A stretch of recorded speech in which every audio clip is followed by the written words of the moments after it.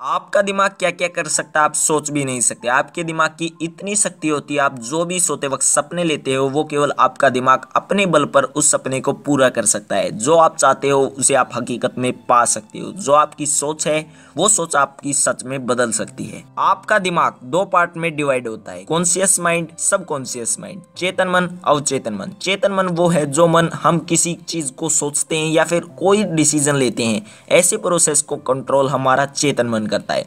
अवचेतन मन हमारा, जैसे हमारी भावना, आदत, विश्वास, सोच को कंट्रोल करता है। देखा जाए तो यही सब चीज़ें हमारे जीवन को अच्छा बना सकती है। सोचो, हमारी आदत है, हम हर रोज जल्दी उठते हैं, लेकिन जिसकी भी आदत नहीं होती वो व्यक्ति सुबह उठना बहुत मुश्किल सोचेगा। इससे ये बात निकल कर आती है, जो काम हम हर रोज करते हैं, वो हमारी आदत बन जाती है। और ना ही वो काम हमें मुश्किल लगता है, ये सब डिपेंड हमारे बिलीव पर करता है। कॉन्सियस माइंड हमारे दिमाग का केवल दस परसेंट यूज़ करता है, लेकिन सब कॉन्सियस माइंड हमारे दिमाग का नाइन्टी परसेंट यूज़ करता है। इससे तो आप समझ गए होंगे, अवचेतन मन की पावर कितनी है। लेकिन इसका इस्तेमाल कैसे करना है, कुछ लोगों को यह पता नहीं होता। जो लोग केवल चेतन मन का इस्तेमाल करते हैं, वो व्यक्ति अपनी ज़िंदगी में सफल नहीं बन पाते।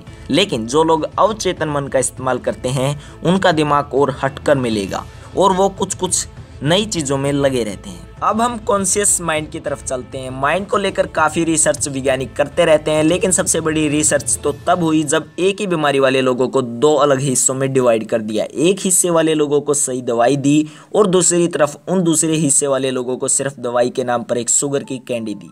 लेकिन वो कैंडी बिल्कुल दवाई के रूप में थी। जब उस कैंडी को लोग खाएँ तो ये लगे कि वो दवाई है। एक महीने बाद वैज्ञानिकों ने उनके शरीर का टेस्ट किया, जिसमें जिसमें पाया गया कि दोनों हिस्से वाले लोगों की बीमारी ठीक हो गई है। इससे ये पता चला कि दवाई के साथ साथ आपका दिमाग में ये बात बैठ जानी चाहिए कि जो दवाई आप ले रहे हैं, उस दवाई से आप ठीक हो जाएँगे। वहीं दूसरी तरफ़ अगर हम अवचेतन मन की बात करें तो एग्ज़ाम्पल के तौर पर आप सोचो, कल आपका एग्ज़ाम है। उस एग्ज़ाम की आपने अच्छे तरीके से तैयारी कर रखी है। लेकिन जब आप एग्ज़ाम में बैठते हो तो आपके दिमाग में अजीब अजीब बातें आती हैं। जैसे, अगर मैं इस एग्ज़ाम में फेल हो गया तो अगर मेरे इस एग्ज़ाम में अच्छे मार्क्स नहीं आए तो? तरह के ख्याल आपके दिमाग में आते रहते हैं, लेकिन अगर आपको एग्ज़ाम में कम आता है, लेकिन आपका माइंड आपको कहता रहता है, आपका एग्ज़ाम आज अच्छा जाएगा तो आप इस बात को समझ पाओगे, जिसको एग्ज़ाम में आपसे ज़्यादा आता था, लेकिन उसके मन में अजीब अजीब बातें आ रही थी, और जिसको एग्ज़ाम में कम आता था, लेकिन उसका माइंड उसको बार बार कह रहा था कि आज तेरा पेपर अच्छा जाएगा तो आप देख लेना जिसको एग्ज़ाम में कम आ रहा था, उसका पेपर अच्छा हो जाएगा। ये सब कमाल अवचेतन मन का, इससे ये बात प्रूफ हो जाती है, जैसा सोचते हो, वैसा ही करते हो। ये तो सिर्फ़ एक एग्ज़ाम्पल था, लेकिन ऐसी कई चीज़ें होती हैं जो हम डेली लाइफ में करते हैं। काम प्रत्येक व्यक्ति करता है, लेकिन यहाँ यह निर्भर करता है उस काम को करता कैसे है। अगर कोई भी व्यक्ति किसी भी काम को नेगेटिव सोच रखकर करता है, उस काम में वो व्यक्ति कभी भी सफल नहीं बन पाएगा।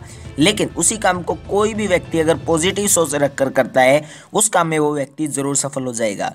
ये सिर्फ़ बातें हमारे दिमाग पर निर्भर करती हैं। हमारा दिमाग सोचता किस तरह है? इससे तो आप समझ ही गए होंगे, हमारे दिमाग की पावर कितनी है। हम अपने दिमाग को किसी भी दिशा में डाल सकते हैं, लेकिन सबकॉन्शियस माइंड का इस्तेमाल हम कैसे कर सकते हैं? जैसे हमारे शरीर में सुबह सबसे ज़्यादा एनर्जी होती है, उसी प्रकार रात को अवचेतन मन की ऊर्जा और ज़्यादा बढ़ जाती है। चेतन मन जब आपका अनएक्टिव होता है तो इसकी ऊर्जा को हम और ज़्यादा बढ़ा सकते हैं। अब आप यही सोच रहे होंगे, आखिर कब हमारे शरीर में चेतन मन अनएक्टिव हो जाता है? और वो समय सोने से पाँच मिनट पहले है। सोने के पाँच मिनट पहले अवचेतन मन के पास आपके शरीर का सारा कंट्रोल आ जाता है। अवचेतन मन आपका नहीं सोता, वो आपको अजीब अजीब सपने दिखाता रहता है। सोने के पाँच मिनट पहले हमें नेगेटिव बातों को भूल जाना है और हमें पॉजिटिव बातों को ही सोचना है। हमें सोचना है, आने वाला दिन हमारा अच्छा आएगा। मुझे कल सुबह उठकर यह काम करना है और एक दिन इस काम में ज़रूर सफल होकर दिखाना है। तो आप जब सुबह उठकर उस काम में लग जाओगे तो एक दिन उस काम में ज़रूर सफल हो पाओगे। तो फाइनली आज की वीडियो यहीं तक थी। अगर आपको ये वीडियो पसंद आई और कुछ नया सीख मिली हो तो प्लीज़ लाइक कर देना। चैनल को सब्सक्राइब कर देना। ऐसी वीडियो के लिए धन्यवाद।